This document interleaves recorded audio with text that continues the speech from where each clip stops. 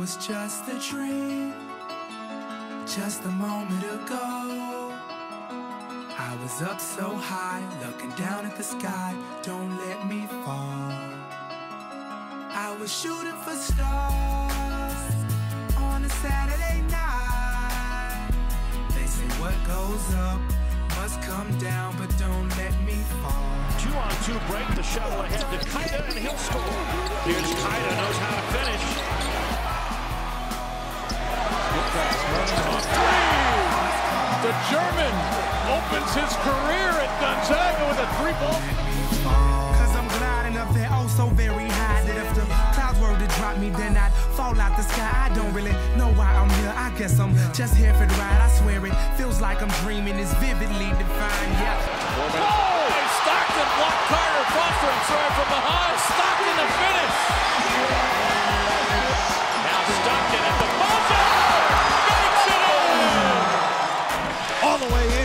Demetri Goodson takes it coast to coast for the bucket. Now Goodson again. Pushing it hard, right to the oh! finger roll. Goodson to Moore. What a show by Demetri Goodson. Three-pointer, yes. Marquise Carter beginning to heat up now. Boy, that's huge.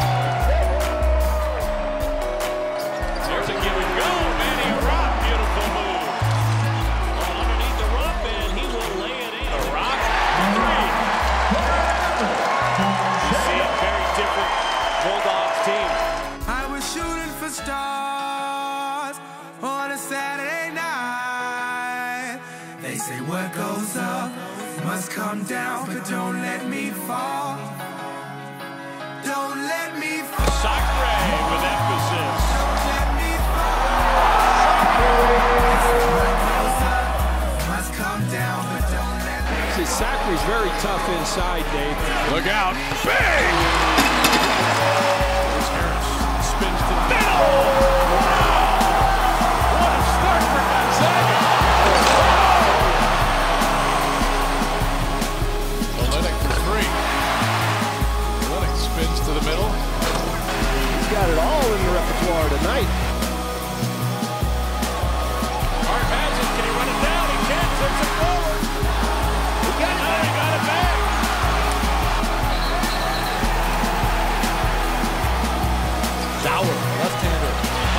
Beyond the arc. Sam with the three.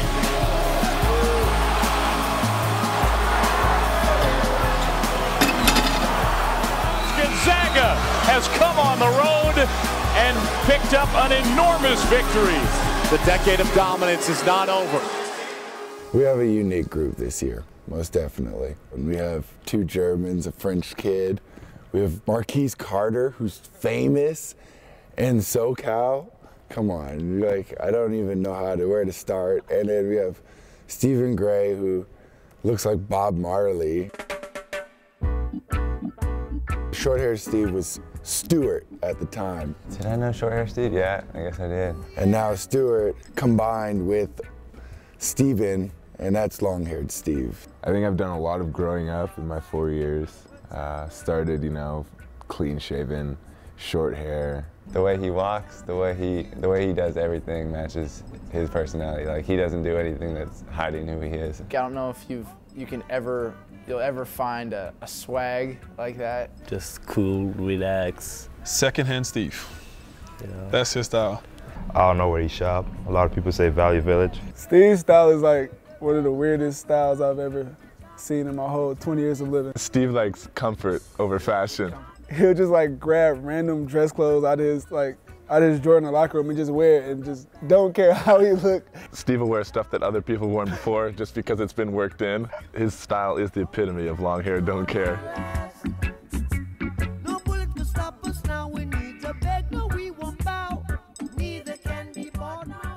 I mean, I really didn't know too much. I just thought he was a normal guy until a couple days down after that.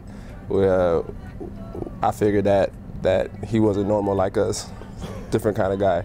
Steven thought I didn't like him his freshman year because apparently after his surgery on his wrist, I made him get up right away and leave the hospital and I didn't make him cookies, which and I didn't know at the time that that was the indicator of whether or not I liked anybody. but apparently I didn't, and so he didn't think I liked him. So I did try to make up for it. I baked him his favorite cookies, and and hopefully we're leaving on good terms now. Look at the dude. He has tattoos of Edward Scissorhands, and it is what it is tattooed all over him, and he has dreadlocks. He's he's completely 180 compared to what he came in. People, let me tell you about my best friend. That's gonna, yeah, they're a couple, and it's gonna be the biggest breakup ever when Steve leaves. That's for sure. A lot of tears, and I'm not sure if Rob can survive without Steve. They've been together ever since when they first got here. I mean, they came on their visit together. They they lived and just met together, and then they they lived off campus together. He gets all hurt when I say we were roommates sophomore year because I had a girlfriend and I didn't give him enough time and God forbid I don't have enough time for Stever. So he said sophomore year we weren't we weren't roommates at that time. You know, Rob's uh, from a different pla planet, just like Steve. Rob and Steve are like the yin and the yang. We are like yin and yang, and we are complete opposites, but we work together. Rob is like one of the loudest guys ever alive, and like Steve is like real quiet to himself guy, calm and collective. I mean, like when they come together, they're like amazing, but I think if they if they separate, there might be some problems. when you hear them talk sometimes, just like girls, you know, girls got their own language kind of. Like Aaliyah said in the plane, are we girls or something? Because like, we'll finish each other's sentences. They don't like useful sentences. They like, Steve, you remember that one time at? Yeah. You know? Oh yeah. You mean that one time? Yeah. You remember that thing? Yeah, okay, that thing. Okay, yeah, well, he doesn't know. It's like, oh, come on, please, guys. It's just a weird, it's, it's weird. They make a perfect little, you know, couple together. It's been a great four years. Um, I mean, it's been just about every day, uh, you know, with that guy, and, and, you know, I wouldn't, you know, want to do it with anyone else. I mean, he's, you know, my best friend. Thank you for being a friend. Travel down the road and back again. Your heart is true. You're a pal and a confidant. I'm just gonna miss my best friend. Like, he's basically my brother, but he can be replaced. I have no problem with that. I'll just get a new dog or something and call it Steve. What would Steve be doing in 10 years? We had this conversation last night, actually. Your guess is as good as mine. I really, uh... He's gonna own some weird drama club in in Seattle. I think that he's gonna probably be in Africa, living very cheaply somewhere. Well, if he's not in the league, he'll be like on some island somewhere with a nice little house. He'll be wearing no shoes. Yeah, no shoes, maybe no shirt. Yeah, debatably a Some, shirt. like, It'll be pants yeah, that are cut pants off. that are cut off. that are cut off. The set, the Birkensteins, the Birkensteins on his feet. and the dreads will be longer. He'll The probably dreads will be really long. He'll debatably have a bass or a guitar Yeah. that he just plucks learn how to at. play that, yeah, yeah. For some reason, he'll be super successful, but we won't know how he is successful because he doesn't do anything during the day or night. So he's just gonna be like, yeah, that's my job. Oh well. He's just so so random. But then he goes on the basketball court and he's just a, such a great player. So it's so weird. Look at his success since he's been here. He's had success um, ever since his freshman year. Two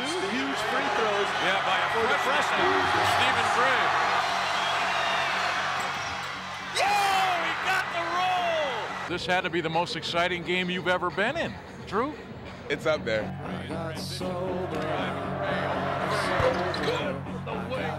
Big Gray, Steven Gray. He might not look it, but once he gets on the court, it's once the ball's up in the air, it's it's game time for Steve.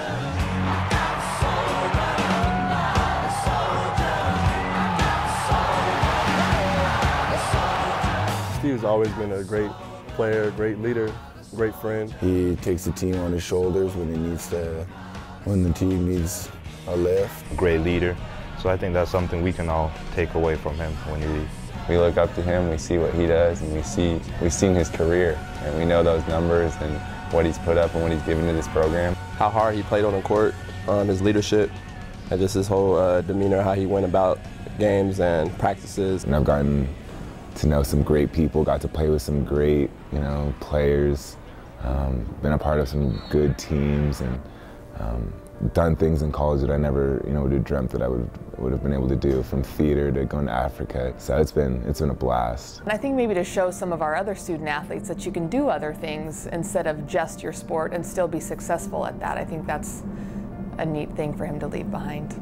He'll come into the office and we'll just talk for 45 minutes. And it could be about life, about something you know he's doing on the weekend. It could be about something he's learning in class and you know, kind of challenges maybe something that I believe, and we'll go back and forth and debate a little bit. And I, I just think he's a good soul, a good person, and I'll, I'll miss that for sure. I think he leaves just a, a model of what a Gonzaga basketball player should be, just tough on the court, you know, a good person off the court. I'm gonna miss coming to practice every day with Steve. He's a he's just he's a fun guy to be around, a nice guy to be around. Bye, Steve.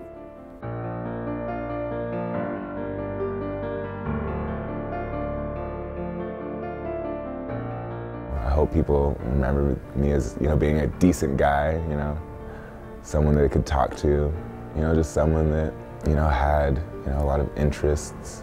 Um, and whatever that interest may be, he, you know, put in, you know, effort and, and he left, you know, whatever he had to give out there.